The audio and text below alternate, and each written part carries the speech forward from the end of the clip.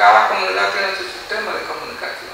Yo pienso que la parte de comunicación comienza desde la misma enseñanza de las artesanías, de las labores de la casa, porque por decir algo, la, artesanía en este sentido, uno desde los 6, 7 años comienza a hilar, a preparar la lana y ya eso es comunicación cuando la mamá, la mujer, empieza a transmitirle esos conocimientos a, a las hijas pues aspiramos como los, los espacios formativos nos ayuden a, retroalimentar, como desde los espacios universitarios de investigación puedan ser eh, espacios que, que nos ayuden a investigar, pero también a construir herramientas para poder eh, amortiguar un poco los problemas, ¿no? Mucha gente, mucho universitario eh, a veces va como, uy, esos indígenas, pues hay que hacerle las cosas. Entonces, antes muchas veces uno se siente como, como, sí, como ese irrespeto. No solo pertenecemos a la academia, nuestro mundo no es solo el mundo de los libros, es el mundo de la realidad, el mundo que es multicultural, pluriétnico, y no porque lo diga la Constitución, sino porque efectivamente así es nuestra realidad.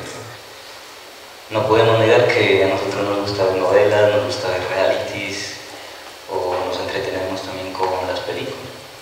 De hecho, pues la, academia a nosotros nos ha aportado, y lo, lo, digo particularmente porque yo soy formado en la academia occidental. Eso no significa que yo sea occidental en absoluto. Eh, ni tampoco voy aquí a, a decir que soy indígena puro. El tallerista nos propuso que nos hiciéramos un autorretrato, una hoja tamaño oficio, háganse cada uno su autorretrato, no importa que no sepa dibujar. Y entre el grupo había compañeros indígenas.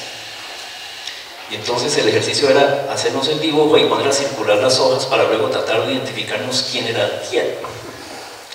Y en ese proceso nos encontramos que particularmente los compañeros NASA que habían hecho su autorretrato, se habían dibujado en medio de unas montañas, allá pequeñitos, en medio de los árboles, de cuerpo entero, cuando todos nosotros teníamos una concepción de nuestro yo, a partir de esa concepción de la cédula, que nuestro ego está aquí. Cuando se hace un audiovisual de la comunidad, es muy interesante porque la gente se ve reflejada. De hecho, no solamente quiere ver el video editado, sino también el material que está sin editar. Pues sabiendo que hay tantos conocimientos y que ya se están rescatando tanto, ¿por qué no nos están enseñando eso? ¿Sí o no? ¿O por qué en el colegio siempre la clase de filosofía siempre nos, nos ponen a leer, por ejemplo, El mundo de Sofía, que es un montón de, que como que dice, este es, como que dicen, esa es la filosofía de todo el mundo y la historia de todo el mundo, ¿sí o no? Pero cuando hacemos el trabajo desde esta perspectiva de comunicación para el fortalecimiento local, es un trabajo más colectivo. La academia debe contribuir a dar eso. A pensar, nuevamente lo digo, los medios como un recurso estratégico para las comunidades.